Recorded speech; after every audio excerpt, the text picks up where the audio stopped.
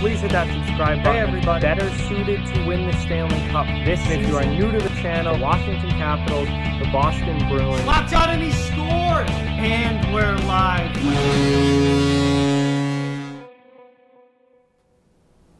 Hey everybody, so quick video here, but we have a signing to talk about from a couple days ago that I haven't talked about yet. Jaroslav Halak has re-signed with the Boston Bruins on a one-year deal worth 2.25 million to be the backup to Tuukka Rask again uh, next season, which he has been for the past couple of years.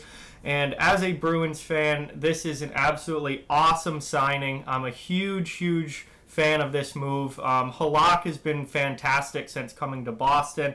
Um, you know, the last two years he's been outstanding as kind of you know, Tuukka's security blanket, that backup role, um, where and even at times, especially a couple seasons ago, um, where he had to he had to kind of take over for a period of time when Tuukka was struggling, and he came in and just played absolutely outstanding. He continues to play outstanding in Boston. Obviously, he has a very good team in front of him, and that helps out any goaltender.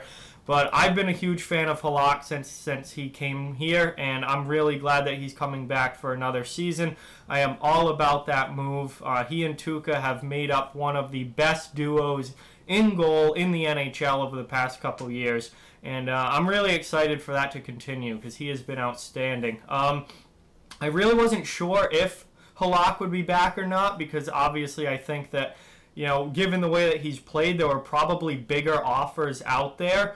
Uh, but I do think he likes playing in Boston. I think he thinks that you know this is a championship level team who he can possibly win a Stanley Cup with, and I think you know he wanted to be here, and that's why he took this deal. Um, and it's good for Boston because you know that keeps that Rask Halak duo that's been so good together for at least one more season, and that gives another year of seasoning to the Bruins' younger goaltenders like Dan Vladar, Jeremy Swayman uh, Kyle Keyser, and those type of guys who, you know, we don't know if they're ready yet. Um, I, I honestly, I thought that there was a probably a pretty good chance that Halak would be gone after this season, and that Vladar would probably be the guy that gets the chance to come up and be the backup goalie. Um, he did have the best goals against average in the AHL this past season. Uh, he had an outstanding year down in Providence, and I thought, you know, there's there's probably a good chance that Boston gives him a shot to come up and be the backup. And um, you know, I think it would have been interesting to see how he would have how he would have you know done in that role and, and taken advantage of that opportunity. But this at least gives him another year to be the starter down in Providence to play on a you know regular basis. Whereas if he was Tuukka's backup, you know, he's probably playing, you know, 25, 22 to 25 games in a season. Whereas now this gives him a chance to start uh, uh, for another year, continue to improve, continue to develop and get better.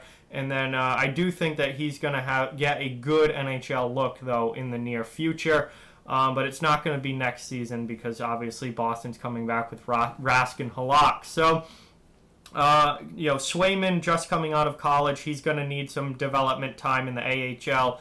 Um, so I assume that next year's AH Providence, you know, roster goaltender duo is going to be um, going to be Vladar and Swayman, uh, and then Keyser, He's you know kind of the one down a little bit. He's been in the ECHL, I believe, and not really uh, he's the lesser of the prospects, I think. I think Bruins are really high on Swayman um, coming out of the University of Maine. He was fantastic this past season, one of the best goaltenders in the country in in college hockey. And then Vladar obviously was one of the top AHL goalies this past year.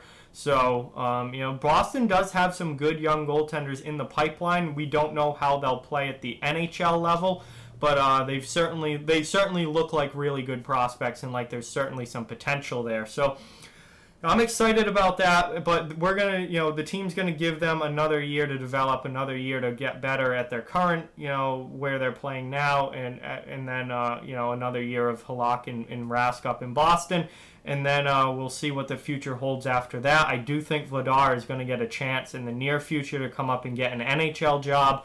Um, but we'll have to wait and see for that. At least next year, it's going to be the return of Tuukka Rask and Jaro Halak. So great signing for the Bruins. I'm really excited about that. Um, and Halak has been absolutely outstanding for this team. So With that, like, comment, share, subscribe, follow on social media. All those links are down in the description below. If you'd like to further support the channel, the links to our Patreon and merchandise store down in the description as well. Keep spreading the word about this channel. Let's keep this thing growing. Thank you very much for watching. Hope you enjoyed the video, and I'll talk to you guys soon.